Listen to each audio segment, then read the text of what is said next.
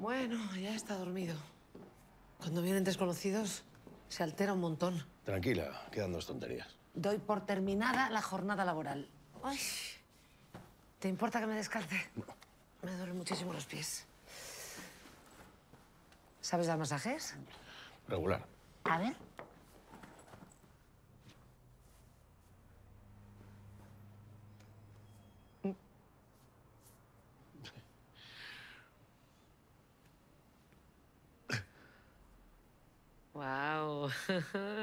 Mentiroso, sí que sabes.